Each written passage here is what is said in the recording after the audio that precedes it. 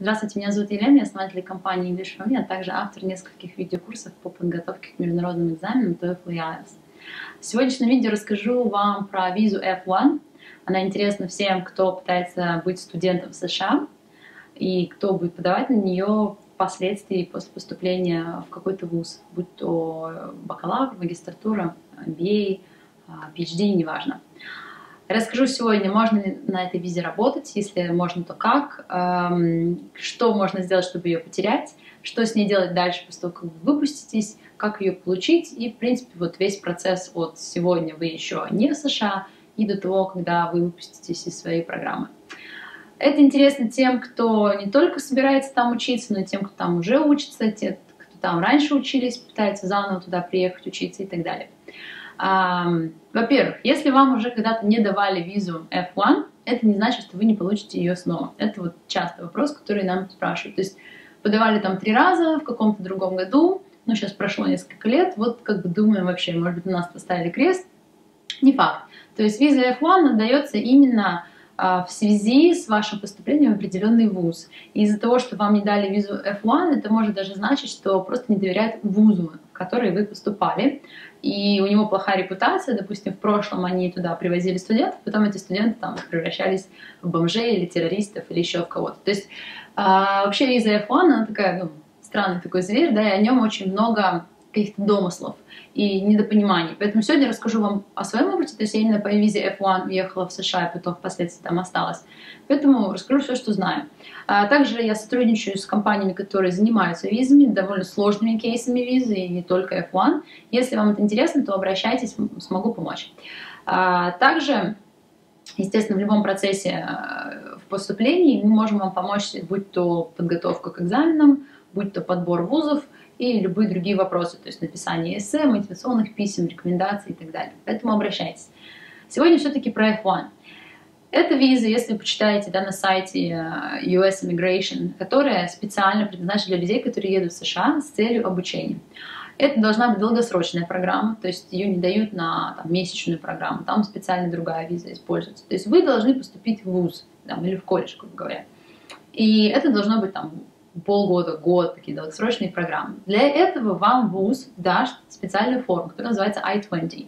Он вам ее даст только после того, когда вы подтвердите университету, что вы собираетесь именно в нем учиться. У вас не может быть 10 форм I-20 с 10 разных вузов. То есть э, этот университет, он специально подает в миграционную службу документы для того, чтобы получить эту форму I-20, и ее вам присылает. То есть это что-то вроде приглашения, но не просто приглашение написано от руки клерком, а это приглашение, действительно, которое уже прошло проверку а, в специальной службе иммиграционной.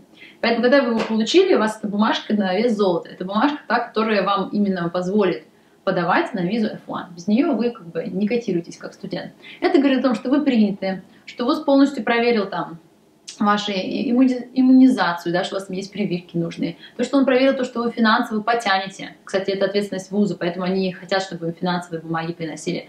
Вы в посольстве тоже понесете финансовые бумаги. Тот факт, что у вас уже есть I-20, говорит о том, что ваш вуз это уже проверил. То есть это проверяют. А, там, ну, естественно, что вы поступили, что у вас адекватные оценки, тесты сданы и так далее. То есть вас уже приняли, то есть они хотят вас видеть там в сентябре, например. Дальше вы берете эту форму I-20, идете в посольство, подаете, там пакет документов целый, там будут э, бумажки о том, что, допустим, ваши родители или вы сами готовы себя спонсировать, и вы можете это доказать, там у вас есть квартира или еще чего-то. Потом вы показываете, что вы намерены вернуться сюда, в свою страну, вот у вас есть какая-то собственность, у вас есть какая-то семья, потому что все-таки F1 не считается как повод для иммиграции, поэтому они проверяют это. Мне один раз даже на MBA не дали визу, когда я посредине MBA программы, то есть у меня еще был год в MBA, у меня квартира, снята машина стоит во дворе своей квартиры, мне просто не дают эту визу. Я иду через месяц подаю, мне через месяц дают. То есть реально бывает, вот просто попали на какого-то клерка, которому не понравились ваши глаза. Или он там бывший морской пехотинец, и он вообще там не любит нестриженных бородатых мальчиков. Или там, не знаю, не любит хиппи девочек. И вот прям раздражаете его.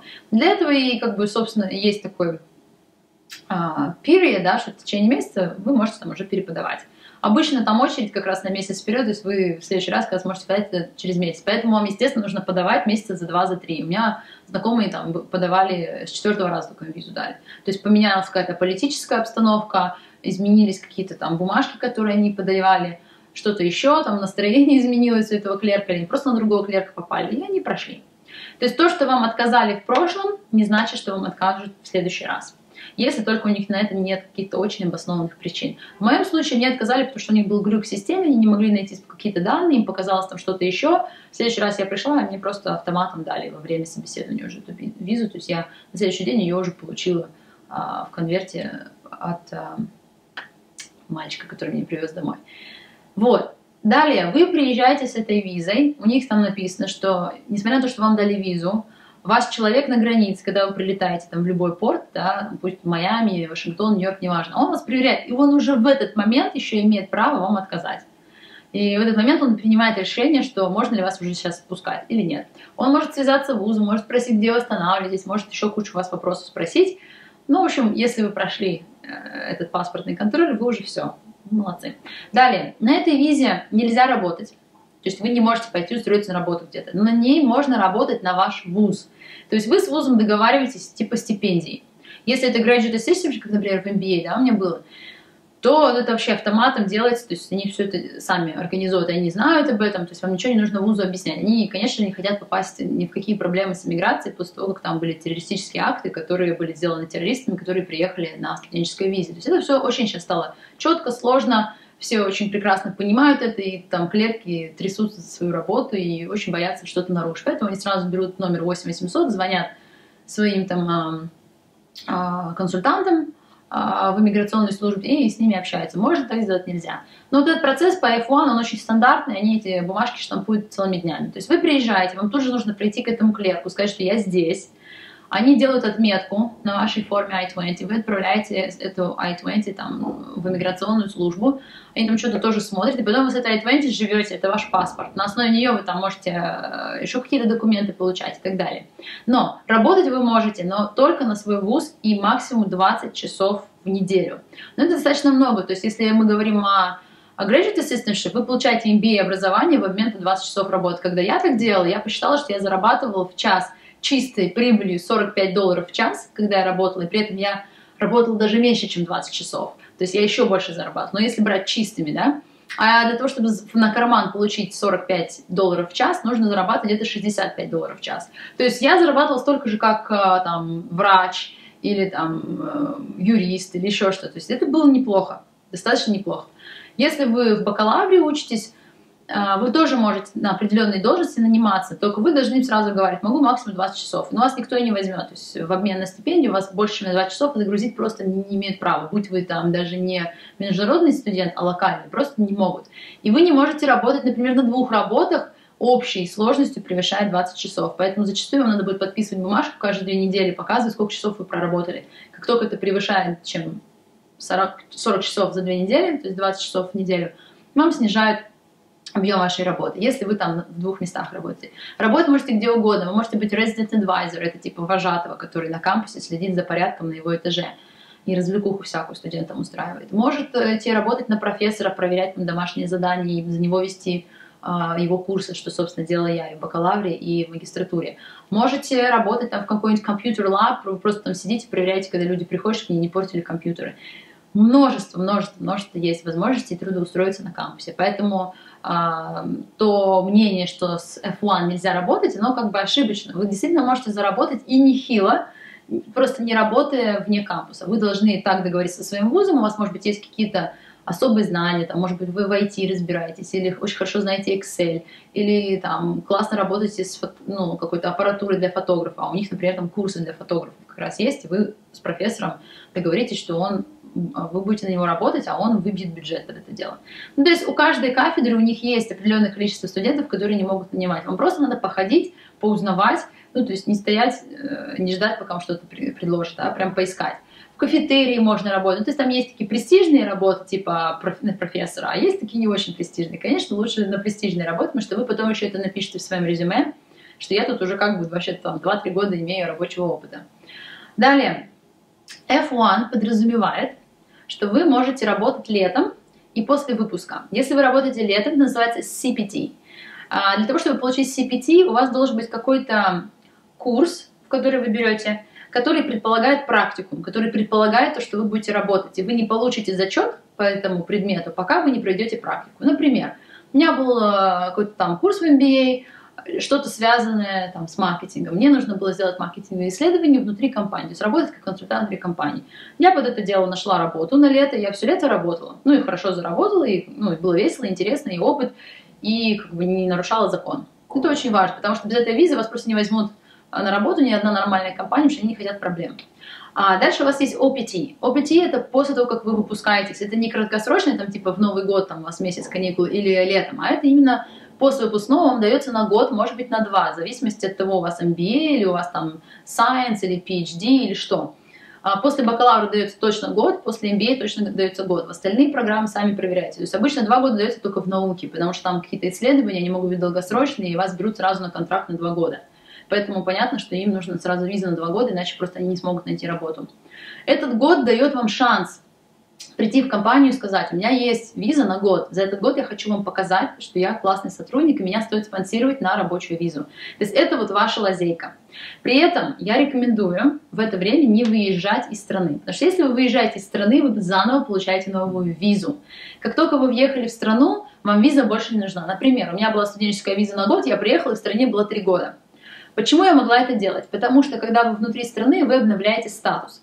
То есть вы берете свою эту бумажку I-20, говорите, я никуда не выезжаю, но у меня заканчивается срок разрешения здесь. Поставьте мне, пожалуйста, еще один штамп, что я все-таки еще пока что здесь студент, что меня не отчислили, что я продолжаю платить, и что я следующий год буду здесь. И вообще летом собираюсь здесь остаться. Они говорят, окей. Для того, чтобы вы летом там могли остаться, вам нужно заниматься летом. То есть вы должны платить вузу и брать какие-то курсы. Либо вы получаете вот эту CPT. То есть вы идете к профессору, говорите, знаете, я хочу летом работать, вы можете придумать какой-нибудь курс, который я у вас возьму, который, например, подразумевает самостоятельное исследование. Мы договоримся, что я его беру летом, ну, у них бывают стандартные такие курсы, да, а бывает, что профессор под вас делает. Типа вы делаете independent study или research project. То есть вы делаете какое-то исследование или, или лично какую-то тему изучаете, и для этого вам нужно работать на компанию. То есть это все можно договориться, это все легально, и не надо это предлагать, как будто вы там что-то пытаетесь замутить. Это все легально. Вот. Он вам это делает, вы остаетесь на лето, работаете CPT, зарабатываете деньги, одновременно получаете кредит какой-то от э, вуза, ну, кредит в смысле кредит uh, по-американски, это значит, что вы, допустим, закончили какой-то курс, да, там, трехмесячный, у вас упало три кредита. Для того, чтобы вам выпустить, нам вам нужно 120 кредитов. То есть это как бы баллы или поинты в счет вашего образования. Ваше образование весит 120 баллов, а каждый курс, который вы берете, это там, 3 балла или там, 5 баллов и так далее. Вот. Э, вы тогда регистрируетесь в своем вузе на этот курс, платите им деньги за то, что вы учитесь, но одновременно зарабатываете, поэтому это окупается. Ведь это есть смысл делать. У вас будет опыт, у вас вы быстрее закончите вуз, потому что у вас будет больше этих кредитов. Вы в общей э, ну, массе все равно останетесь в плюсе и в деньгах в том числе. Ну и плюс вам не нужно ездить туда-обратно, не нужно тратить деньги на билет. Вы можете на эти деньги попутешествовать по стране. То есть я вот за это. Потому что если уже приехали, то возьмите от жизни все, все, что вы там можете получить. Просто большинство людей об этом не знают, они уезжают домой, потом летом опять подают на визу, тратят на эти деньги. В общем, не обязательно это делать. Когда вы внутри страны, вы просто меняете статус, вы не получаете новую визу. Если вы звоните там в иммиграционную службу, они уже им надоело объяснять вам, что you don't need a visa, you need a change of status. То есть мы, мы находимся в статусе F1, вам нужно его просто продлить. Вам ставят новый штамп на вашу I-20, вы опять отправляете им туда, они говорят, окей, еще на год мы от вас отстали. И возвращают вам эту бумажку обратно. Вы опять с ней год счастливо себе там живете. И так делайте ну, настолько, сколько вам раз это нужно делать. Но в особенности, если вы хотите съездить домой, не делайте это в последний год. То есть вот вы в этом году выпускаетесь, вы понимаете, что сразу после выпускного вы никуда не едете, вы меняете свой статус F1 на OPT. И вы начинаете работать на вот таком специальном статусе. А после того, как вы работаете на OPT, вы просите, чтобы компания вас проспонсировала. Они вас спонсируют там на H1, B1, и на этой H1B вы будете потом сразу же менять статус OPT на H1B. Опять же, не надо выезжать из страны, потому что уехав, у вас совсем уже другие условия. Вы начинаете реально подавать на визу. Вот. Вам этого не надо, вы просто хотите менять статус. Вот это то, что нужно знать про визу F1, это действительно как путь к жизни за границей, если это то, чего вы хотите, путь к иммиграции, через рабочую визу и через транзицию в эту рабочую визу через OPT. Если это видео вам было полезно, если это было действительно так, то ставьте лайк. А, по вопросам пишите в комментариях, а лучше всего обращайтесь по ссылке в описании этого видео к нашим партнерам, которые помогут вам со всеми визовыми вопросами. Желаю вам успехов. А если вы еще только готовитесь, только собирайтесь, обращайтесь, мы будем рады вам помочь а, по изучению английского языка, по подготовку к тестам. И э, сегодня вам дам еще подарок за то, что вы досмотрели видео до конца. Я предлагаю вам 10% скидку на мой видеокурс. Просто пройдите по ссылке. Это будет курсы видео и TOEFL и IELTS. Выбирайте тот, который вам подходит. Э, жмите на ссылку, оставляйте заявку, менеджер предложит вам 10% скидку на прохождение этого видеокурса, чтобы вы могли сэкономить не только свое время, но и деньги, занимаясь самостоятельно по этому курсу. Alright, see you, bye!